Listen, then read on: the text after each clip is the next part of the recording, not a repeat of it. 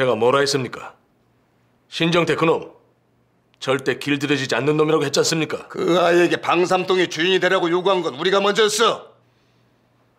부자지간에 결의를 맺었으니 방주님께서 그놈을 죽이면 아비로서 강호의 의를 깨뜨린 신이 없는 자가 될 것이고 살려두면 스스로 방주님 목에 칼날을 들대는 것 같은 꼴 아닙니까? 알어, 알어, 안단 말이야, 알어.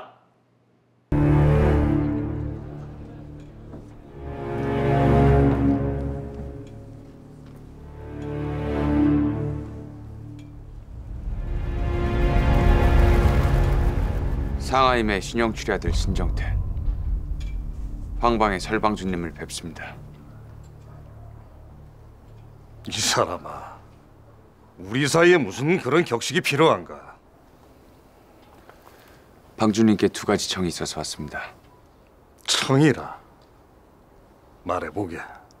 첫 번째, 아버지 위패를 황방에 모시고 싶습니다.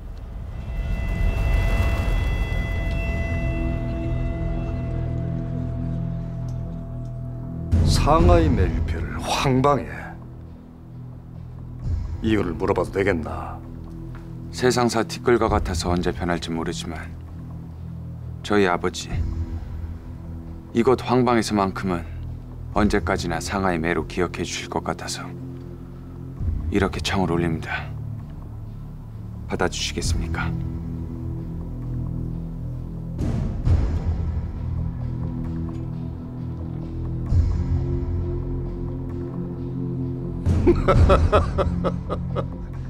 물론이네. 상하이 매가 황방에서 영면을 취한다면 우리에게도 무한한 영광이네. 모시게.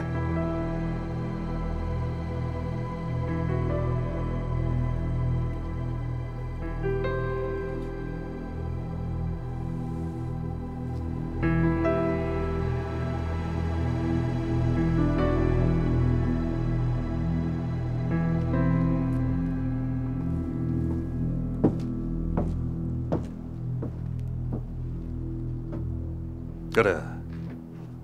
나머지 하나는 무엇인가? 열살 때 어머니를 잃고 여기 상하이에서 아버지 장례를 치렀습니다. 사고 무친이 된 저 신정태 방주님을 아버지로 모시는 결의를 정해도 되겠습니까?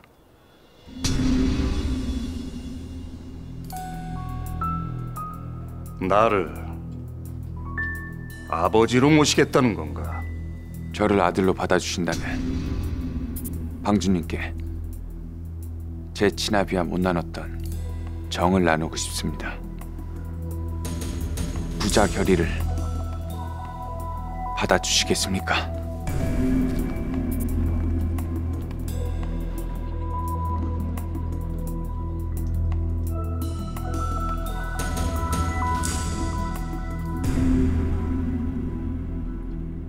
너의 청을 허한다. 하나님의 아들이 설방주의 아들이 되었다. 영웅의 아들이 또 영웅의 아들이 되었다.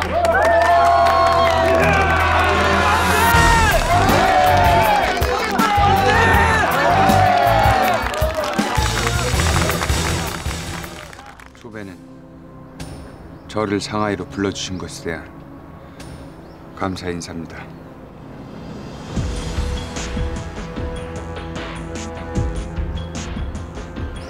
제 배는 제 아버지가 되어주신 것에 대한 감사 인사입니다.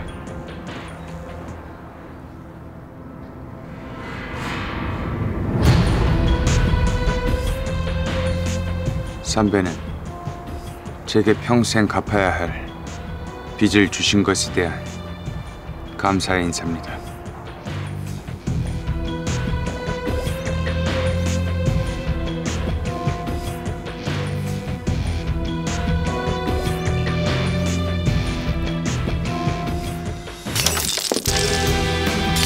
이로 인해 황방의 설부성 방주와 신정태는 부자지간의 결의를 맺고 아버지와 아들이 되었음을 천지신명과 참석하신 내빈들에게 알리는 바입니다.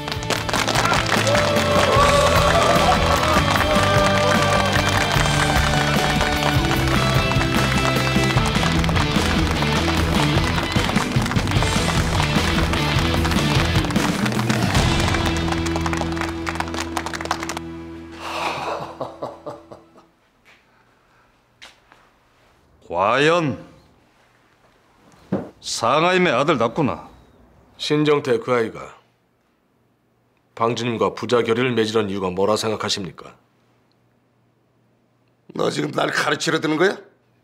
제가 뭐라 했습니까? 신정태 그놈 절대 길들여지지 않는 놈이라고 했지 않습니까? 그 아이에게 방삼동의 주인이 되라고 요구한 건 우리가 먼저였어.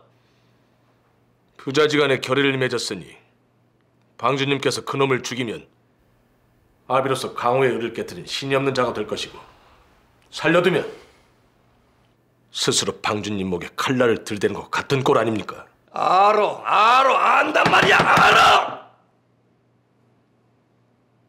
그놈이 일부러 여러 사람 앞에서 무릎 꿇고 청하는데 나보고 어쩌란 말이야! 그 청을 거절하면 난 상하에 매대한 신이라고는 눈꼽말 수도 없는 깃반 늙은이로 되어가는 신세였단 말이야! 서둘러 결의를 깨뜨리고 신정태를 죽이십시오. 그럴 순 없어. 이미 결의는 맺어졌고 세상이 공패했어. 그럼 이제 어찌하시겠습니까? 또다시 클럽 상하이를 상하이의 자식놈에게 고스란히 가져다 바치시겠습니까?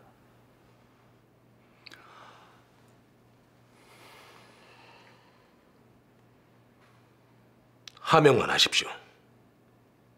방주님 이름에 욕되지 않게 처리하겠습니다. 아니야, 그럴 일이 아니란 말이야. 방주님! 부방주!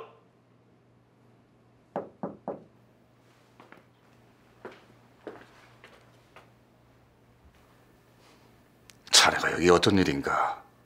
아버님, 이제 전 그만 방삼통으로 돌아가 보겠습니다.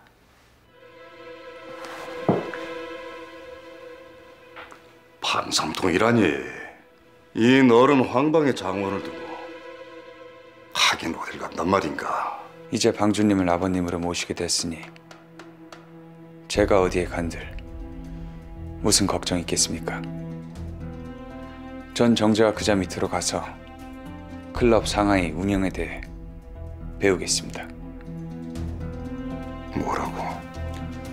이제 제가 방삼통의 주인이 되겠습니다.